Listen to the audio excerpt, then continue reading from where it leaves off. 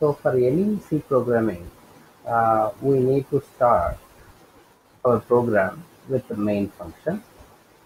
So void main and uh, we need to include uh, some of the important header files. Uh, a header file is nothing but uh, uh, it will add the predefined which is already developed by the C developer. So now for our printf statement, uh, we are going to add standard input output header file. So hash include stdio.h.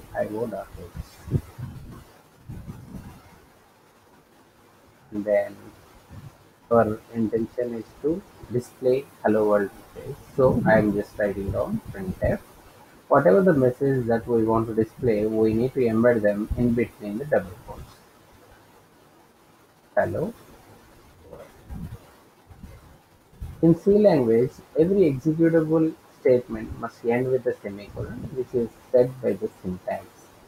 So syntax is nothing but the grammar which is defined by the program developer, programming language developer, which will tell for the easy execution and then compilation of the code which we write in the C language. I have done the writing the program and now my turn is to save this program.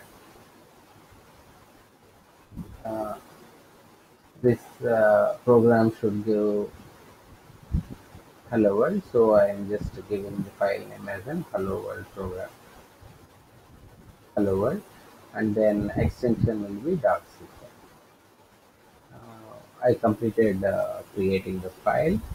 And now my job is to compile and execute to build and run. I need to use this one. So it will uh, now display hello world. Yeah